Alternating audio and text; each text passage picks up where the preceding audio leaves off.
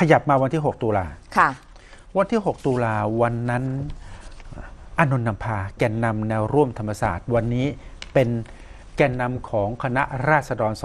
2563อ่าเขาประกาศตัว วันนั้นตรง6ตุลาทนายอานนท์นำพาได้ประกาศพูดไว้อย่างไรครับ ประกาศไว้ดังนี้นะคะว่า 14 ตุลาคมนี้จะไม่กลับ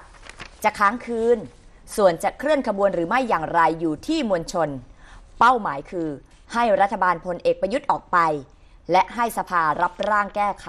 รัฐธรรมนูญ อานนท์นำพาแกนนำนะคะ กล่าวไว้เมื่อ 6 ตุลา63 ค่ะ อืมสองประเด็นนะ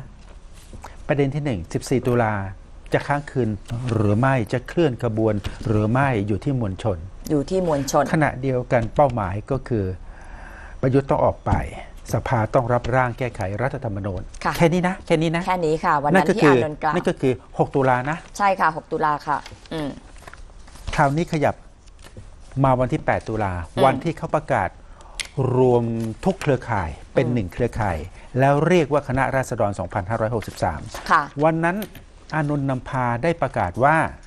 วันนั้นในการชุมนุมหมายถึงวันที่ 14 ตุลานะคะ วันนั้นในการชุมนุมจะมีเซอร์ไพรส์แน่นอน หากรัฐบาลต้องการเจรจายืนยันว่ายินดีที่จะเจรจาแน่นอน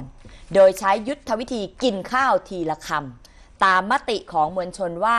จะรับข้อเสนอได้หรือไม่อานนท์นำพา แกนนำคณะราษฎร 2563 กล่าวไว้ 8 ตุลา 63 ค่ะคำว่ากินข้าวทีละคำหมายความว่าค่อยๆ รบค่อย ๆ ชนะ อืมอย่าหวังชนะในคราวเดียวอืมเปิดโอกาสให้รัฐบาลมาคุย ได้ตลจะอดกี่ด้วยข้อเรียกร้องก็แล้วแต่ค่ะ ถ้ามวลชนรับได้ แกนนำคณะราษฎร 2563 ก็ก็รัรับบได้ด้วยอืมก็รับด้วยอืมยึดยุทธวิธีกินข้าวทีละคค่ะำวันนั้นผมรู้สึกนอนหลับฝันดีอืมน้องๆเริ่มเข้าใจชีวิตจริง อืมก็น่าจะโอเค ไม่น่าจะมีก็อะไรน่าจะน่าโอเคกลัวใช่กไหมว่าที่คหรับลายๆคน ประเมินกันไว้ใช่ค่ะ วันนั้นจากวันะที่ 8 ตุลาขยับมาวันที่ 10 ตุลาอืมอานนท์นำพาคนเดิมนั่นแหละ ค่ะ ไม่ได้เปลี่ยนคนเลย คนเดิมชื่อเดิมหน้าตาก็เดิมด้วย โพสต์ประกาศใน Facebook ของอานนท์นำพาเองว่า อืม ว่าดังนี้นะคะ 14 ตุลาหลังส่งเสด็จด้วยการชู 3 นิ้วที่ราชดำเนิน ขบวนประชาชนทั้งหมดจะเคลื่อนขบวนไปตั้งเวทีปราศัยไล่ประยุทธ์และพักค้างรอบทำเนียบรัฐบาล ขอเชิญทุกท่านมาไล่ประยุทธ์ด้วยการนอนค้างบนถนนร่วมกับพี่น้องประชาชน เชื่อมั่นและศรัทธา 10 ตุลา 63 ลานย่าโม โอเคสามประเด็น ค่ะ ประเด็นที่หนึ่งก็รู้อยู่ ไปปักหลักตรงนั้นขวางเส้นทางเสด็จ อืม แต่ ก็จะหลีกทางให้ขบวนเสด็จผ่านได้ค่ะ